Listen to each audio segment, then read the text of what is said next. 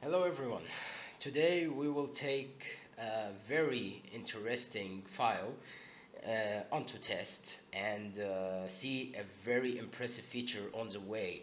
I guess that will speed up the process of seeing an actual uh, and powerful uh, Eevee renderer that can do an SSGI or screen space global illumination how this can happen uh, actually uh, there is someone that kindly he uploaded the file um, for free. There is no uh, nothing because he is still trying. And he tried that using shaders and I guess with some kind of sorcery in rendering settings.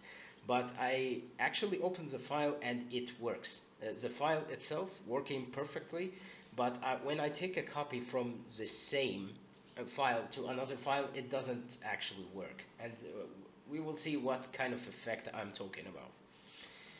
Uh, as you can see here is that we have two files and um, they are actually the same. This is the file, the, the source file, and this is the file that I've created.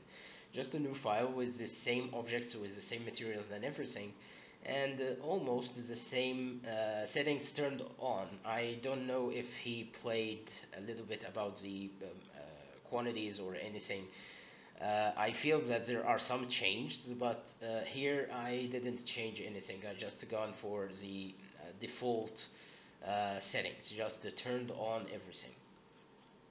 So what what is happening? Why I'm talking like that? If you turned on uh, the uh, interactive rendering, you will see a very predicted um, um, like uh, very dark shadows and all that stuff because we didn't make an irradiance uh, bake yet. So it is way too predictable that we will find, uh, especially that the background is black. If you turn this, a little bit up, you will find some kind of, um, yeah, you know, very fake GI, but it is not actually GI, it's just um, ambience, uh, which is not uh, what we need. But in here, we will find that the background is black also, and there is nothing to it. But in the meantime, you will find this. Look how impressive it is. It looks like it's a GI uh, in screen space mode, which, which is amazing. Only using the materials and I guess some kind of settings. I don't know. I actually don't have any idea, but it happened. You can have a real-time GI in Eevee which is amazing thing. Look at this. It's it's beautiful and it's working. Um, it, it, it, maybe there are some kind of um, artifacts like this. You, when you zoom in, you actually cut or um, you don't see everything. So the screen space reflections, which is I think uh, the hack that has been done for the materials is using the uh, BSDF in a different uh, with a different reflection roughness uh, so it gives like a GI looking uh, effect which is uh, very smart. I actually uh, like this.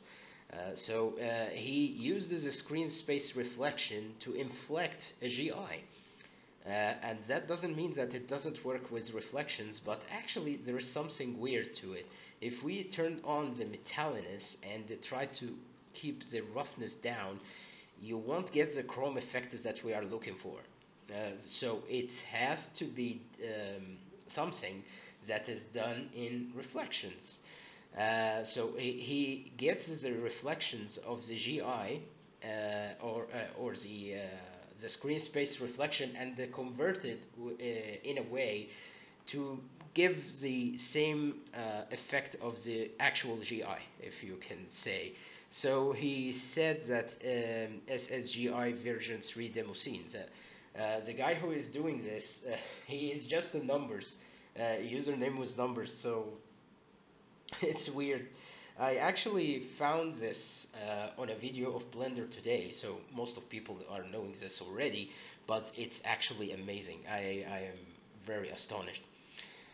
Uh, also to take a note, I think this file can work very well in a working environment if we can say. It's not a product ready, uh, yes, it's just a trial or a demo.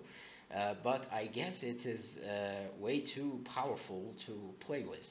if we can make um, a principal shader, um, let's forget this and it make it a very uh, primitive one and give it the, metallic look. I think that we don't use the GI anymore. Uh, we don't need it because it's uh, completely reflective. Uh, so uh, I think that the file is working so well, if we can say, even if we have uh, reflective surfaces and all that stuff. Uh, uh, of course, there are some uh, challenges uh, still left, but I guess this is a very good start to uh, make Clement, uh, if we can say, the developer of Eevee, uh, can take a look about this and uh, maybe he can implement uh, something uh, into Eevee that mimics the SSGI. I think it will be amazing to have SSGI in in Blender and for free. that is crazy. It it is not done in a, a high grade or we can say triple A programs for this.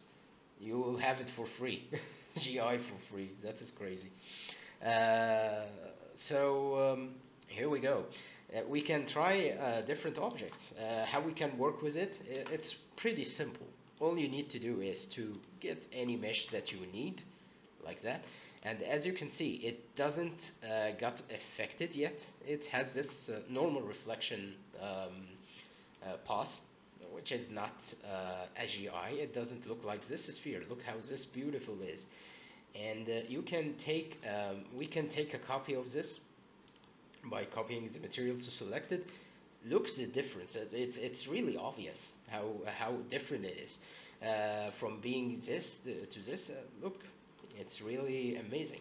So all we need to do is to apply some modifiers just to give some kind of um, a depth to it, so we can uh, uh, enjoy the, the amazing works that has been done for this. Uh, actually, thank you, Mr. 0471, I guess. I don't know his name. He is not a name. He he don't he don't have a name, and uh, I feel that uh, if Clement can do a fast work to implement this in the next release, it will be amazing. Or even 2.91 alpha or anything. Uh, we, are halfway there. Uh, we we can actually do AGI in real time uh, using uh, just uh, very normal nodes. And I guess it's working in outdoors also. It, it is not working uh, indoors. If we can get this sphere up, and here we go. Look, there is. It looks like a GI. Look, uh, how how there is a like a, a, white uh, or highlight here uh, under the shadow, which that really gives the uh, the feeling that it's uh, it's being rendered or uh, ray traced. How amazing it is! so let's let's make something. Let's make a change to the color or something. I, I don't think that it have. Look, there is there is a, an effect. There is a bleed of the red on the white building here. If we can say it's a building, it's it's done in a very uh, weird way, so we can make it even thickness, so we can have something that looks a little bit pleasable. And let's uh, try out uh, something else. Um, yeah, yeah. i i ooh. look how, how it does it. Look, um, the HDRI, by the way, is just um, a sphere with HDRI. Uh, It can work with emissive materials, by the way. If we have uh, a material that is emissive, it will actually light the space. Yeah, it is real.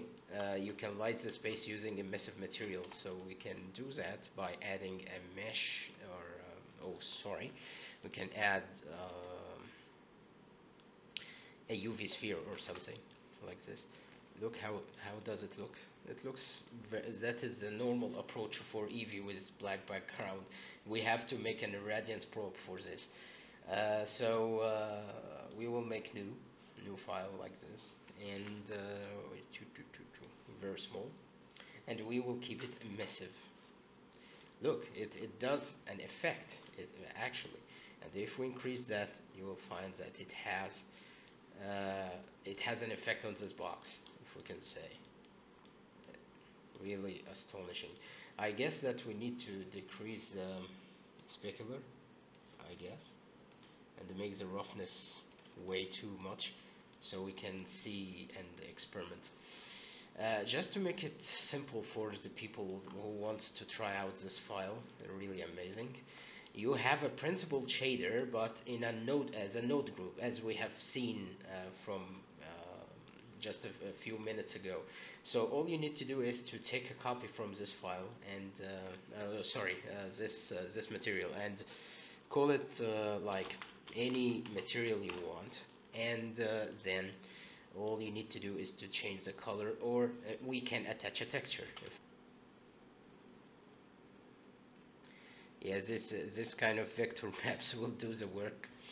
Okay uh, so we have some reds and some weird stuff. Yeah it's not a good example of course. Mm, no it doesn't work. See it doesn't uh, I mean it doesn't make a GI effect. So the color will do the trick. Uh, we can give a white color. It, it really appears on bright colors uh, too much uh, like that. And it uh, look look how it it actually makes light on uh, but it has to be on the screen because it's a screen based uh, look when we make a zoom in you will find that the screen uh, based um, emissiveness is working way, way too well as if it's making lighting. It reminds me with uh, D5 render in that approach actually. Really amazing um, so I guess that is enough for uh, try, uh, trying this out but it's actually uh, I'm, I'm really uh, astonished of how powerful this plugin is or maybe we can say material but I don't know it's uh, it uh, as you can see it works on this file it doesn't work um, on its own. Uh, hopefully to, uh, to do another video with that format pretty soon. والسلام عليكم ورحمة الله وبركاته.